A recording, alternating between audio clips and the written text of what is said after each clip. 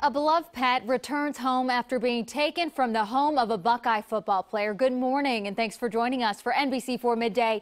I'm Katie Farrell. OSU running back Ezekiel Elliott sparked a social media frenzy when he posted a tweet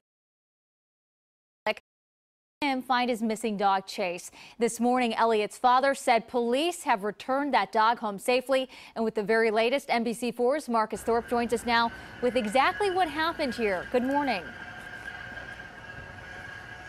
And good morning to you. If you have a dog, you certainly know just how much they mean to you, and they have had this dog chase since he was just a little pup. So when Stacy Elliott, Zeke's father, came out to find out that this was actually in their backyard, a hole had cut into this fence line, and that Chase was gone, his heart dropped. Today, after that crush of social media attention, the good news is Chase is home, brought here by Columbus Police this morning after Stacy said a tip from someone possibly in a homeless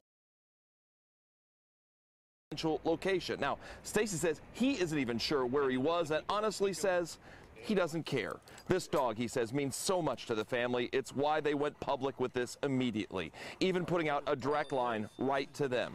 Turns out that attention led to someone who knew something, and Chase is now home. For Stacy, he says Buckeye Nation, a group that extends beyond these local borders, showed some much love and support. Buckeye Nation is amazing. You know, I, I got, we got phone calls that we put a number, our personal number on, on the flyer because that's how much Chase meant to us. Mm-hmm. And we got phone calls from, I saw on the call ID from Maine to California to Tennessee, um, people just calling and texting of support and um, for Ezekiel. And I mean, Buckeye Nation is amazing.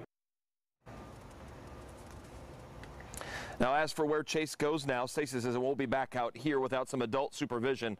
He'll likely be an inside dog for a while until they figure things out. He says he did text Zeke this morning, but didn't get a response right away. That means he could either be in a class or he could be working out. But he says once he finds out that his dog is now home, he is going to be very pumped. Much more on this coming up tonight at 5 and 6, and of course at NBC4i.com and our NBC4 Facebook page. We have some pictures up right now of Zeke as he came home here, actually as Chase came home, and you can check them out there on our Facebook page. Reporting live, Marcus Thorpe, NBC4.